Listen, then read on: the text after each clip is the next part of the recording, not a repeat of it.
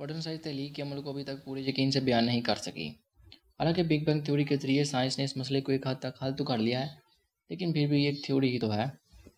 मैं आपको बताऊँगा कि हिंदू मज़हब के मुताबिक कायनात की तख्लीक कैसे हुई। हिंदू मज़हब की अहम किताब पुरानाज में इस बारे में तफसील मिलती है। वो तफसील ये है कि फ़ितरत की तीन खसूसियात हैं। पहली, नेकी या अच्छाई की खूबी या खसूसियत, जिसे संस्कृत में सतवा कहते हैं। दूसरी, शौक की खूबी या खसूसियत, जिसे संस्कृत में रजा कहते हैं। तीसरी जाहलीत की खूबी, जिसे संस्कृत में तमाह कहते हैं। तख्लीक के नौ मराहल हैं। पहला मरहला, सबसे पहले महातत्व की तहलीक है, यानी अच्छाई की खूबी जो कि बड़े खुदा विष्णु के अवतार का नतीजा है। फिर वक्त ज़ाहिर होता है और वक्त गुजरने के साथ साथ वो तीन खूबियाँ ज़ाहिर होती हैं। फिर वक्त गुजरने के साथ साथ ये तीनों खूबियों की वजह से मज़ीद तख्लीक होती है।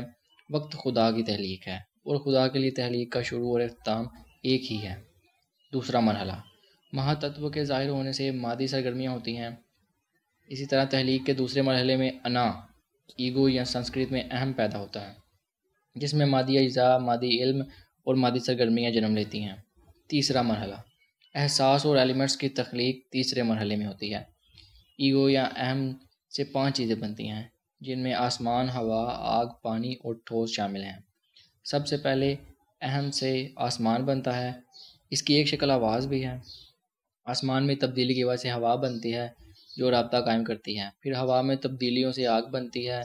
फिर आग में तब्दीलियों की वजह से पानी बनता है।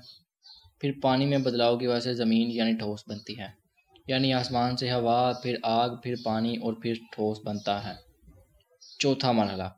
चौथे मरहले में इल्म और काम करने की सलाहियत की तख्लीक होती है। इसे हम लॉ ऑफ़ नेचर के तौर पर भी समझ सकते हैं। पाँचवा मरहला। पाँचवें मरहले में अच्छाई की खूबी के ज़रिए देवताओं को काबू में किया जाता है, जिसमें जहन ही सब कुछ है। छठा मरहला। छठी तख्लीक ज़िंदा वजूद की लाइल तरीक़ी की है। सातवां मरहला। सातवें मरहले में साकिन हस्तियों की तख्लीक होती है, जैसे कि दरख्त, पौधे वगैरह। आठवां मरहला। आठवें मरहले में निचली नस्लों मसलन गाय, बकरी, गधे, खच्चर, शेर और परिंदों वगैरह की तख्लीक होती है, और इनमें जहानत नहीं होती। नवा मरहला।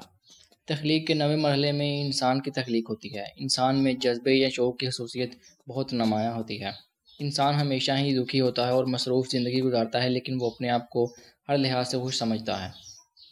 दसवीं तख्लीक में छोटे खुदाओं या खुदा की औलाद बनते हैं। ये सारे छोटे खुदा ब्रह्मा बनाता है।